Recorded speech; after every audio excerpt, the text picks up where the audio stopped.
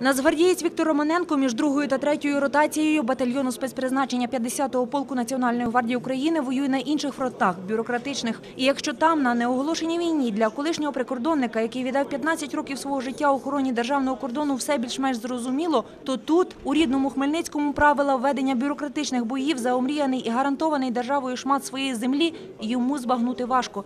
І він таки не один. За роз'ясненнями прийшли безпосередньо до своїх обранців. Хочемо відстояти свої права на землю, яку влада нам пообіцяла, а не дає. Навіть не дає сім'ям загиблих хлопців, які загинули, і за них забули. Рада не хоче виконувати, так розумію, свої обов'язки. І в мене ставлення до цього дуже погане, і в мене, ну, і моїх побратимів таке саме.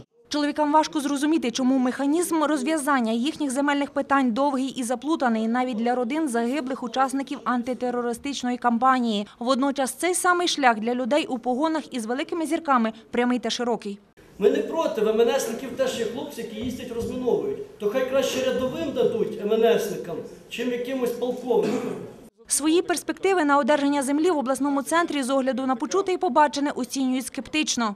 26 років назад, як війна в Афганістані закінчилась, і хлопці ще не отримали до сих пор землю. Тож, значить, нас така ж сама участь чекає з цією землею. А ще із сумом констатують, якщо і є винятки з правил, то міські обранці діють за принципом «на тобі не Боже, що мені не гоже». Він капітан першої роти, якщо не помиляюсь, 95-ї бригади на Лєсєво.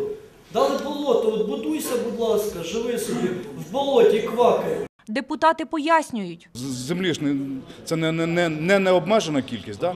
і обіцяють. 45% е, земель, які взагалі будуть виділятися, е, надавалися е, учасникам АТО і бойовим дій, учасникам бойових дій за незалежність України.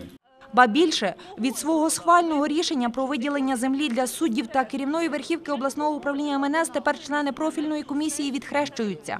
Земельна комісія відхилила на цю сесію винесення цього питання. Та й взагалі роль цього рішення на сесії має благородну мету. Моє бажання було вислухати, побачити, хто як голосує. Що сили виніс, винесли і, і подивитись, хто як голосує. Поставити на поіменне голосування. Натомість колеги по депкорпусу стверджують, Як ніхто би не проголосував? Раніше що робив? Не голосував? чи не стане депутатська обіцянка виділити вісім ділянок раніше зарезервованих для МНСників-чиновників для тепер уже поранених учасників АТО не залишиться цяцянкою, покаже лише час.